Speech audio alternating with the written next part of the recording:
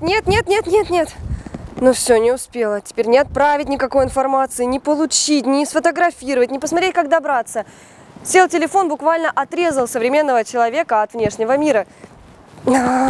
Снизить энергопотребление и значительно повысить скорость обработки информации в электронных устройствах. Мечта не только пользователей гаджетов, но и цели ученых. А для научных сотрудников Дальневосточного федерального университета такая задача больше не кажется недостижимой. Формула поликристаллической пленки состава рутений кобальт-рутений стала не только достижением, но и формулы успеха ученых школы естественных наук. Мы впервые получили поликристаллические пленки, то есть это пленки, которые обладают достаточно мелким кристаллографическим зерном, кристаллическим зерном. И эти пленки э, обладают уникальным свойством.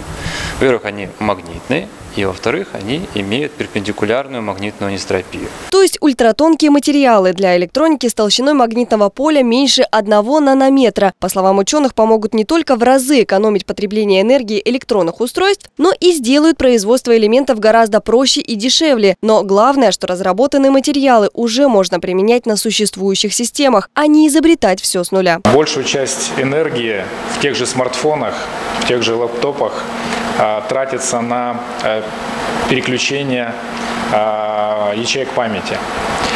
Для того, чтобы смартфон работал неделями без подзарядки, необходимо как раз создать э, такой тип памяти, который будет требовать очень мало энергии. Для этого нужны новые материалы. Над разработкой ультратонких материалов нового типа трудились две научные группы. Активно к сотрудничеству привлекали и иностранных коллег. Чтобы добиться поставленных целей и подобрать параметры с необходимыми свойствами, нужно было перепробовать сотни вариантов. И работу эту иначе как ювелирной не назвать. Для таких толщин экстремально важно получить ровную поверхность. Причем ровная здесь имеется в виду шероховатости атомарного уровня.